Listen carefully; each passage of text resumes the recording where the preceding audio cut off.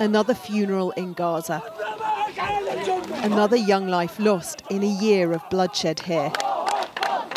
21-year-old Mohammed Saad carried through streets where the tension of life under a punishing Israeli-Egyptian blockade has turned to violence.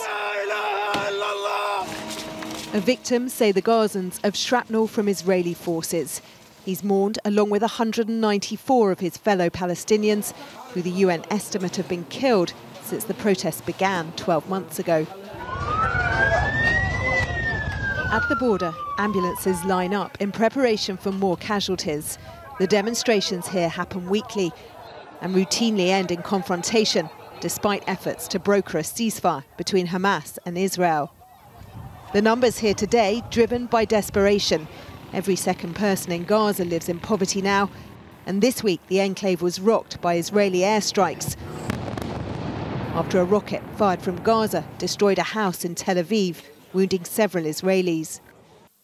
With elections just over a week away, Israel's prime minister is under pressure. And in the last few days, the government has sent extra troops to the border, denying accusations from the UN that it's intentionally fired on civilians.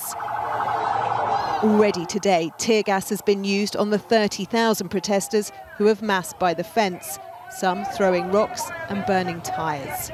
With Gaza more on edge than it has been in years, there is little sign of an end to the violence, nor of its devastating impact.